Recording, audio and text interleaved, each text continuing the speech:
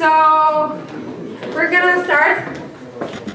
Hey guys, we're gonna start it. So come inside. All right. So good evening, guys. There are more of uh, us to come. I think there are gonna be 150 people people this evening. So they're gonna take a seat as they join. But we have a tight schedule. We have three presentations this evening.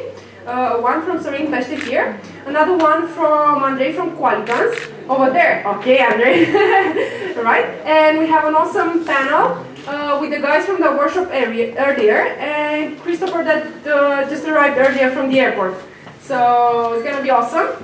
Uh, the community is growing faster and faster, so we thank you guys for that. Uh, we had a few challenges in the past uh, few weeks, in the sense that a lot of you guys have booked the workshop seats, and the churn was quite big. Only half of you showed up. So we do want to keep these events free. So do help us to keep them free. Do not reserve a seat, uh, and just keep it reserved if you're not going to show up.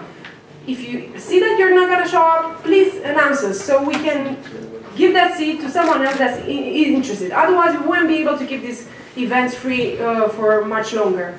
That's one thing. And the other thing, do give us feedback uh, often because this is how we can improve the events. This is how we can create more applied AI, uh, uh, you know, gatherings. Uh, we have uh, meetups, we have hackathons, we have workshops, and of course, we are planning a lot more for you guys. We are still planning an AI mapping of the local ecosystem, but it's only with your help that we can succeed to, to doing this. We want to grow the local ecosystem, uh, so lend us, a, lend us a, help, a hand, so let's do this together.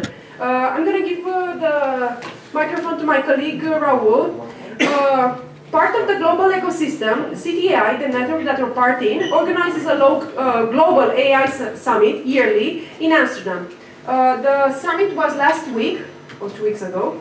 Uh, Raoul was there. Uh, there were like 5,000 people, uh, all the great AI brains. And he's going to give you a quick three, four minutes insight of how he went, what were the main things uh, that were presented, and the progress is uh, made globally. So I'm going to let Raoul take the scene and tell you a bit of the global AI scene. Thank you.